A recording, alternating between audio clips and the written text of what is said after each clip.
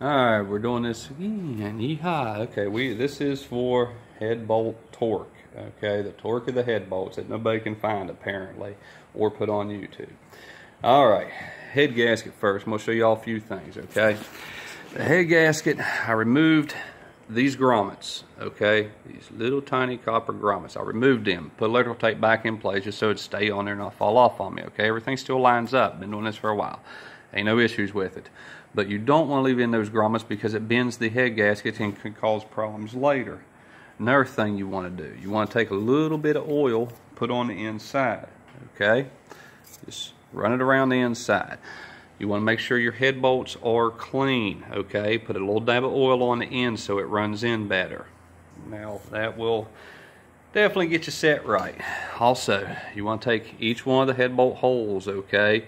You want to spray brake cleaner in there, air it out, and you, it works a lot better than leaving them dirty.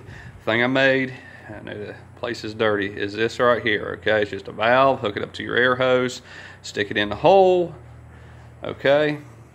Right in the hole, put it all the way to the back and run it up and down after you do the brake cleaner, clean it out real good, okay? Another thing is, the, where is my tool? What a mess. Okay, another thing is, this little handy dandy tool right here, all right, like a little die grinder. Except you buy this little end, put it on there. Okay, get the real fine grit, works great. See how it surfaces the heads? Now this one has been milled down and then I had to bring it back because they didn't do a very good job. Okay, nice and smooth. I just kind of cleaned it up. Also did this over here with it. Okay, let me pull this back off so I can show you. Okay, this is about as clean, there we go, about as clean as this is going to get with this. You don't want to use a wire brush and mess it up, okay?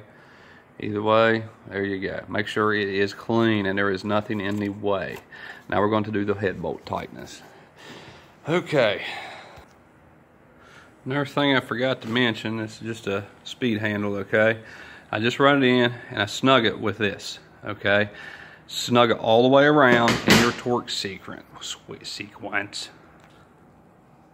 Okay, after you get all that snug, all right, with the speed wrench, you're going to take it from one, two, don't matter on the crisscross, three, four, five, six. That's going to be your pattern every time, okay, for right now till we get on up here. We're going to start this at 35 foot-pounds, okay? You want to turn a little bit at a time, and we're going to start at 35. We're going to increase it 10 pounds every time. So we're going to go 35, 45, 55, 65.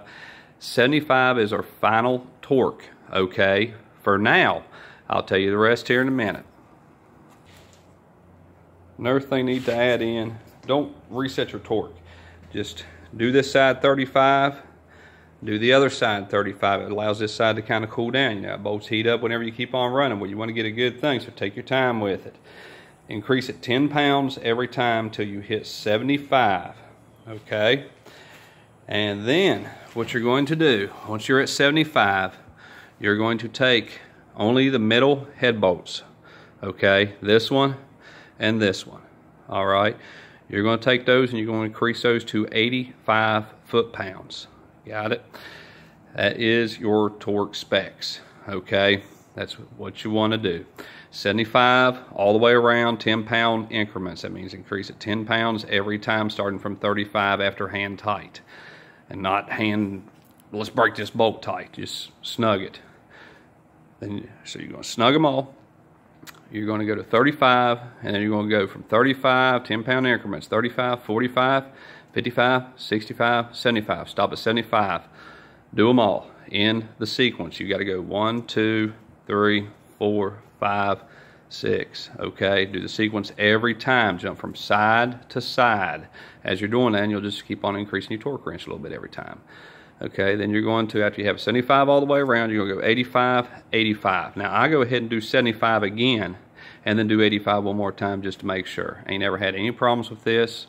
Always a first for something, but that is your torque specs. Okay, 75 all the way around, 85 center. All right. Hope y'all enjoyed the crappy video. There you go.